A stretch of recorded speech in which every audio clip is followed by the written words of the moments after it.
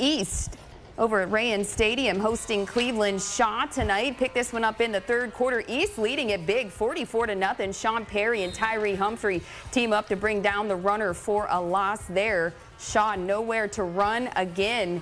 And it's going to be Perry again with Deshaun Perez. Another tackle for a loss. Good D there by the Bears. The Golden Bears faced with a third and 18 and Darian Brownlee is going to lug the rock for 26 yards and a first down on the next play. Brownlee on the keep here, and he's going to rattle off a nice 11-yard pickup, and he's going to fight his way into the end zone, and East would extend their lead out to 50 to nothing. Some good hard, good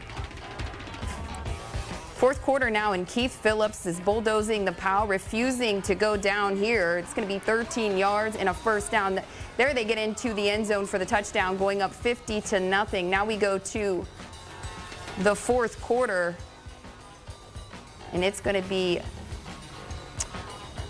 East gets the win over Cleveland Shaw in this one by the final of 58 to nothing tonight.